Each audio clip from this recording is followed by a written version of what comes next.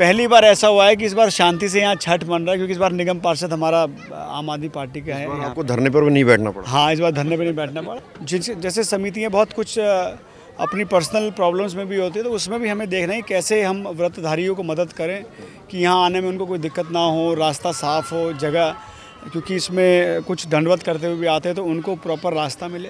देखिए मैं उनसे यही प्रार्थना करूँगा कि वो अपनी पूजा में हमारे लिए प्रार्थना करें दिल्ली सरकार के लिए प्रार्थना करें अरविंद केजरीवाल जी के लिए प्रार्थना करें कि ऐसे ही वो हर वर्ष दिल्ली का बेटा बन के लोगों की सेवा करते रहे और हम लोगों को माँ शक्ति दे कि हम ऐसे ही उनके साथ निभाते रहें, कंधे से कंधा मिला काम करते रहे और हमारे छठ छठ व्रतधारियों को जो सुख सुविधा हो सकती है उसमें हम और बेहतर कैसे कर सकते हैं, वो हमें रास्ता दिखाते रहें। पूरे देश में छठ पर्व की शुरुआत हो चुकी है। दिल्ली के विभिन्न जगहों पर नए नए छठ घाट बनाए जा रहे हैं। द्वारका विधानसभा में लगभग 35 घाट तैयार किए गए हैं और इसके अलावा गली मोहल्लों में और भी घाट हैं जिनमें सहयोग जा रहा है दिल्ली सरकार का। विधायक विनय मिश्रा खुद हमारे साथ हैं जो यहाँ इंद्रप्रस्थ पार्क में जो छठ घाट बने हैं उनका जायज़ा करने के लिए पहुँचे हैं। विनय जी अ, कितने घाट जो है द्वारका विधानसभा में बनाए जा रहे हैं? कितनों पर काम चल रहा है? और क्या कहना चाहेंगे?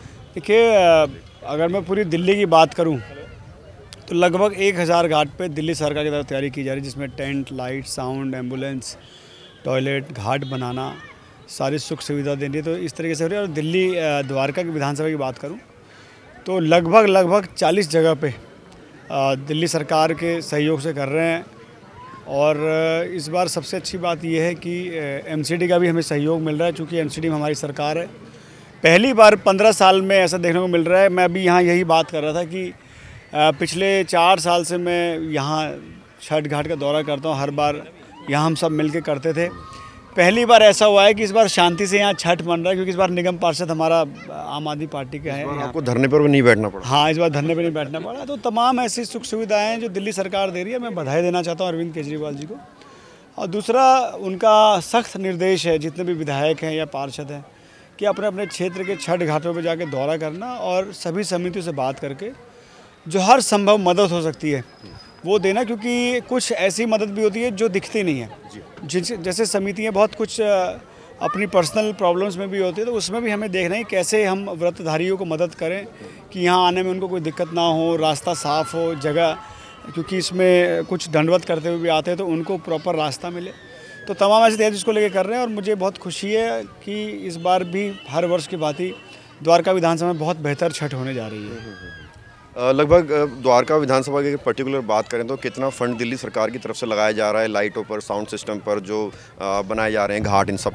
देखिए फंड की जहाँ तक बात है तो हमने जितने घाट थे, सबका एक टेंडर होता है क्योंकि पारदर्शी तरीका है इसमें।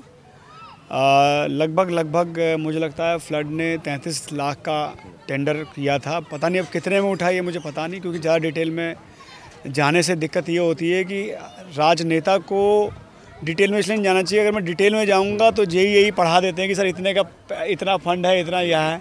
हमें मतलब है कि हम हमारी समितियाँ जो काम कहे वो काम एग्जैक्ट होना चाहिए। उसमें कोई कमी नहीं होनी चाहिए क्वालिटी में कोई कॉम्प्रोमाइज़ नहीं होना चाहिए। तो उसमें अ, हम लोगों की कोशिश होती है। नहीं तो क्या होता है कि आप टेंडर की अगर बात करोगे उनसे तो कहेंगे जी टेंडर बिलों में गया और जब बिलों की बात आती है तो फिर हम कहीं ना कहीं आदमी कॉम्प्रोमाइज़ करने लग जाता है।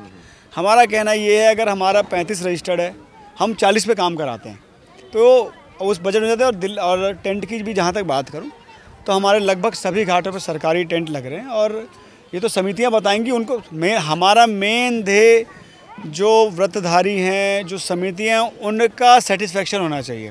वो सेटिस्फाइड है तो हम भी सेटिस्फाइड और मुझे लगता है कि समिति वाले बताएँगे अगर कुछ कमी है तो उसको भी हम पूरा करेंगे। छठधारियों को मैसेज आज संदेश देना चाहेंगे सर? देखिए मैं उनसे यही प्रार्थना करूँगा कि वो अपनी पूजा में हमारे लिए प्रार्थना करें दिल्ली सरकार के लिए प्रार्थना करें अरविंद केजरीवाल जी के लिए प्रार्थना करें कि ऐसे ही वो हर वर्ष दिल्ली का बेटा बन के लोगों की सेवा करते रहे और हम लोगों को माँ शक्ति दे कि हम ऐसे ही उनके साथ निभाते रहें कंधे से कंधा मिला काम करते रहे और हमारे छठ छठ व्रतधारियों को जो सुख सुविधा हो सकती है उसमें हम और बेहतर कैसे कर सकते हैं वो हमें रास्ता दिखाते रहें। चलिए बहुत बहुत शुक्रिया सर बहुत। धन्यवाद।